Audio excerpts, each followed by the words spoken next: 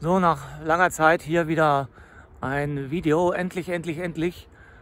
Ich fühle mich stark genug, mich zu präsentieren und äh, hier auch mein Fortbewegungsmittel, was ich hier die letzten Monate genutzt habe, zu präsentieren. Und zwar einen Rollator. Jawohl.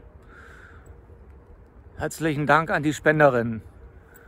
Ähm, Wenn es mir etwas besser geht, dann nutze ich auch hier äh, solche Stücke, um meine Spaziergänge zu machen. Und ich kann äh, sagen, es ist nicht lustig. Äh, ich will sagen, wie der Weg hinter mir, ein steiniger Weg, aber ich gehe ihn. Äh, Diagnose, Sie nennen es Krebs. Ja, so. Und ich bin der Auffassung, äh, dass da viel Bewegung hilft so eine äh, psychische Klärung und äh, das richtige Gewicht und Ernährung. Ja, also drei Pfeiler. Ich äh, danke den Unterstützern, den Spendern. Vielleicht noch eins äh, in diesem, mit diesem Hintergrund will ich sagen, also es ist schon erschreckend, mh, hm, wie will ich es ausdrücken, wenn man im sogenannten CT dann sieht, welche Dinge der Krebs dann an einem äh, weggefressen hat, ja, welche Dinge eben links im Links-Rechts-Schema dann nicht mehr links-rechts gleich parallel sind. Und äh, zeitweise hatte ich, das war glaube ich im November, ja, hatte ich gedacht, es geht ganz zu Ende. Da konnte ich nicht rechts, nicht links liegen, nicht auf dem Rücken, da konnte ich gar nicht mehr schlafen. Das war also, naja, nicht lustig. Wir haben jetzt Anfang Februar 2024 und ich fühle mich stark genug, dieses Video zu machen. Ja? Jetzt aber rüber ins andere Setting. Viele fragen, wie geht's mir? Und äh, deswegen jetzt hier nochmal ein Video zu meinem Gesundheitszustand. Ich fühle mich jetzt einigermaßen äh, kräftig genug, dass ich jetzt äh, dazu ein Video mache und eigentlich will ich das Video hier in eigener Sache vorausschicken, um dann weitere Videos zu machen zu, zu politischen Dingen wieder. Ja, da fühle ich mich jetzt stark genug wieder. Also wer A sagt, muss auch B sagen. Deswegen jetzt muss ich jetzt auch sagen, wie es jetzt weitergegangen ist mit meinem Gesundheitszustand. Und äh, ja, man hat für mich gebetet, Energie gesendet in äh, zweiwöchentlichen Energiekreisen und äh, ich hatte auch wichtige Gespräche. Und äh, gleichwohl, ich kann nicht nur von Luft und Liebe leben. Also ähm, den letzten expliziten Spendenaufruf hatte im Herbst letzten Jahres. Ja, danke für die äh, Spende an B.M. Die weiß schon, äh, die Person, äh, um was es da geht. Ähm, ich hatte eine Klage vor dem Verwaltungsgericht Stuttgart gegen den Landtag auf Auskunft. Das hat auch etwas Geld gekostet, da habe ich mich aber zurückgehalten. Ähm, für solche Dinge verwende ich das Geld auch. Und das war so absurd. Ich hätte in die nächste Instanz gehen müssen und äh, da habe ich keinen Anwalt gefunden, ja, der das machen wollte für vernünftige Kosten auch. Also was weiß ich, hunderte von Euro für einen Stundensatz, das wollte ich niemandem zumuten. Gibt es auch Leute, die das machen und auch Geld dafür bekommen wohl, ich weiß es nicht, aber das finde ich nicht. Äh, also es ist dann absurd, ja. Also ja, was heißt absurd, aber naja. Ähm, also ich habe ja viele Dinge jetzt über Telegram gemacht. Ja, Telegram, äh, der Kanal Wim for You, also Wim und dann die 4 und dann ein U auf Telegram. Da bin ich. Und äh, so, was weiß ich, mein Gesicht zeigen in die Kamera, das habe ich nicht gemacht seither. Und ich habe auch keine Außentermine wahrgenommen aus gesundheitlichen Gründen. Die äh, Bewegung ist ganz wichtig natürlich, aber auch ähm, äh, das habe ich völlig unterschätzt, den die, die, das persönliche Umfeld, also dieses engste persönliche Umfeld. Also gibt es einen, der war da mal rumgelaufen mit seinen Theorien, Hamer.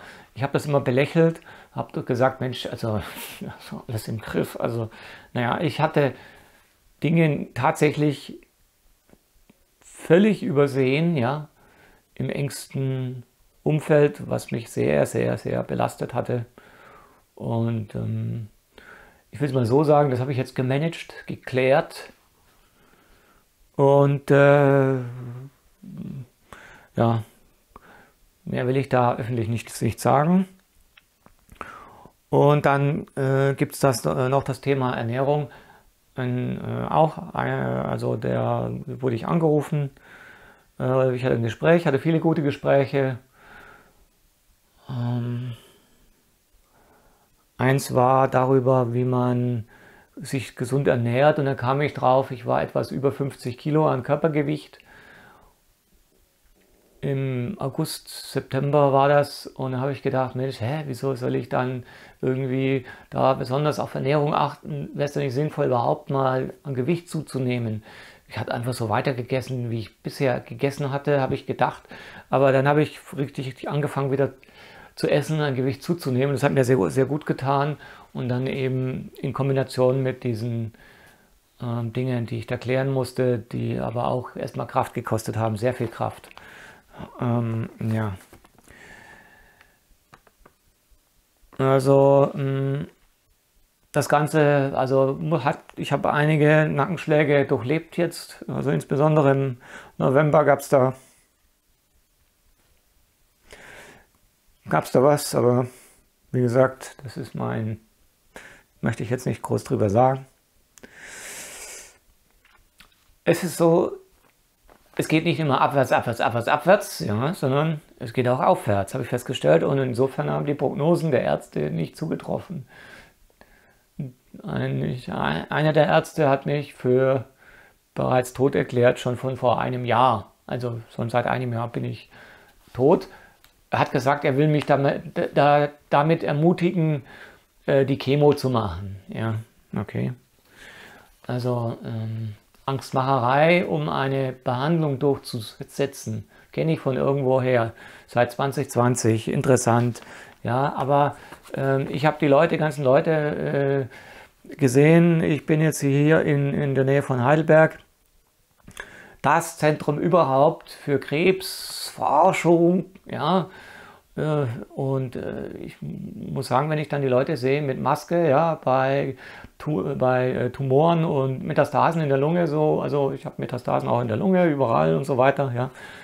Und ähm, da denke ich mir, was soll der, Scha der was soll der Scheibenkleister, die, die, die, die, diese Sache, wenn man dann irgendwie eine Maske auf dem kriegt, sowieso kaum nicht richtig Luft mit Metastasen in der Lunge. Und, äh, aber es hat die Ärzte nicht interessiert. Äh, insofern äh, habe ich da die Dinge äh, mit Skepsis genommen. Also diese Behandlung, ich bin von Anfang an quasi austherapiert quasi, ja. Also wenn man das so sehen will. Ja. Und dann gab es auch Bestrahlung, das gab es auch, da gab es eine bestimmte Bestrahlung, die gab es aber nur eine bestimmte, die ich dann wollte. Hätte ich gesagt, okay, die hätte ich jetzt genommen vielleicht äh, als mir es wirklich dreckig ging. Und, äh, aber die gab es nur mit dreifacher Chemo, ähm, äh, also nicht Behandlung, sondern richtig äh, mehreren Sitzungen, also drei äh, Sets an Chemo. Dann hätte ich dann, oder zwei, dann hätte ich dann diese eine Bestrahlung gekriegt, ja. Also das wollte ich dann auch nicht. Äh, ja, also ich habe jetzt auch verschiedene Sachen natürlich, die mir geholfen haben. Anfangs hat mir geholfen so eine Health-App wie es auf Neudeutsch heißt, eine Gesundheitsanwendung. Ja. Ähm, ihr habt vorhin gesehen, äh, dann äh, gut, Rollator hatte ich verwendet, um so einen Einblick auch zu erhalten. Ja, ich habe teilweise muss, muss, ich, muss ich auf dem Boden rumkrabbeln, weil ich äh, gesundheitlich, es geht nicht anders, ja, Lähmungserscheinungen und ähm, äh, Taubheitsgefühle, ja, gibt es da. Und äh, das Ganze hat mich natürlich äh, zum Nachdenken gebracht. Äh, das ist ganz allein meine Entscheidung natürlich, ja, das muss man erstmal wie soll ich das sagen, soll ich durchsetzen sagen, wie, soll, wie, wie, wie sehr ich mich mit diesen politischen Themen beschäftigen sollte oder wollte, aber das ist mein Leben, insofern mache ich das weiter und machte ich das weiter, soll ich das reduzieren? Nein, äh, natürlich habe, musste ich es reduzieren, aber auf Telegram habe ich eigentlich jetzt ohne Videos zu machen, habe ich jetzt eigentlich so weitergemacht, aber eben ohne diese in, wirklich investigativen Videos, wirklich äh, ein paar Sachen habe ich gemacht, wie Briefe schreiben und so und habe auch ein paar Sachen erreicht. Ja. Ein Video hatte ich zwischenzeitlich ja gemacht über dieses Geheimdossier ja, vom Landtag, diese, diese, diese Absurditäten, die da stattfanden. Und da gibt es auch, da, wie gesagt, das kommt noch, das kommt noch, ich war wirklich zu schwach. Aber da, ähm, da gibt es noch einen Knüller, also das verspreche ich euch. Also ich habe viel gelernt, ja, auch über Schmerzmittel. Also das Palliativteam ist das Beste, das ich je hatte. Hm. Das ist mein erster tödlicher Krebs. Ich weiß nicht, wie es beim zweiten tödlichen Krebs aussieht. Keine Ahnung. Äh, es läuft gerade ganz gut beim ersten tödlichen Krebs. Ja? Ähm, also ich weiß jetzt, was Oxycodon ist, Fentanyl, Methadon. Kenne ich mich jetzt super aus. Ähm, ich muss jetzt halt aufpassen, ja. Also auch äh, die Knochen und so weiter sind auch angegriffen. Also Vorsicht. Gut, ich kann jetzt alles Mögliche eben, wie gesagt, die Art der Nahrungszufuhr, also was ich esse, ist ja das eine, aber auch diese Gesamtaufnahme, das fand ich dann noch viel wichtiger eigentlich. Und das war der Game Changer, wie der Engländer sagen würde, äh, ich, mir fällt jetzt kein deutscher Begriff ein, ja. Also ich habe jetzt mir so ein paar Sachen aufgeschrieben, Staudensellerie, also wer sich da auskennt, äh, Aprikosenkerne, Brottrunk, Vitamin C, Infusion, Vitamin D, Milchvergorenes, Müsselspritze, Natron, Fußbad und Natronbad, ja. Und, und, und, und, ja, also, ja. Mm. Dann doch noch äh, zum Schluss noch dieses, dieses Angst machen, ja. Also das hatte ich so ein bisschen auch mit diesen, mit diesen ähm, äh, in, die, in die Chemo reintreiben, die Leute. Und äh, wenn man dann, was weiß ich, eine Vorsorgeuntersuchung hat, dann hat man dann, dann ist der diese äh, kaskadenartig alles vorgegeben, ja, was man alles durchlaufen soll, ja. Da kommt zuerst die Vorsorgeuntersuchung, heißt, oh, oh, oh, oh, alles ganz schlimm, ja. Und ähm, wer, der, eine, der eine oder andere weiß, wie das ist, einen Facharzttermin zu bekommen. Da muss man erstmal teilweise ein halbes Jahr warten. Und äh, das war das erste Mal in meinem Leben, dass mich Ärzte mal angerufen haben. Ja, nachdem ich allerdings ein halbes Jahr auf diesen Facharzttermin gewartet habe. Ja, also und ähm, ja, also das ganze ähm, das ganze System basiert schon auch darauf, dass einem Angst gemacht wird. Und wie gesagt, das kenne ich auch. Äh, mein Skript ist hiermit erstmal durch und äh, ihr dürft gespannt sein auf tatsächlich inhaltliche Videos zum Thema Politik. Danke erstmal, bis dahin. Mein Name ist Jürgen Felger, Freiheit für Wirtschaft, Information und Meinung.